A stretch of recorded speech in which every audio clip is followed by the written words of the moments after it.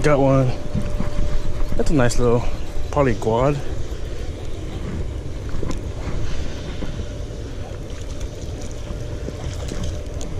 Yep.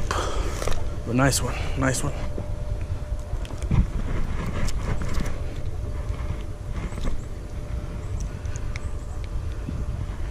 There it is. For sure, Guad. Nice. And I think he's been eating craws. I don't know if you can see that. A little piece of red in there.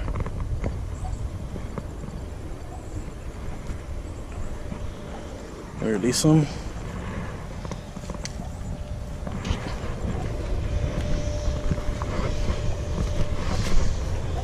I don't want to too close, so I'm just gonna toss him from here. One more look. Chunky. Been eating some craws. And they're red.